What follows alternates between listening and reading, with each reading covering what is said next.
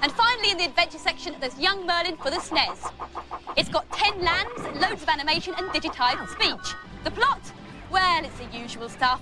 Merlin must outwit the king's army and battle assorted evil geezers. Blah, blah, blah.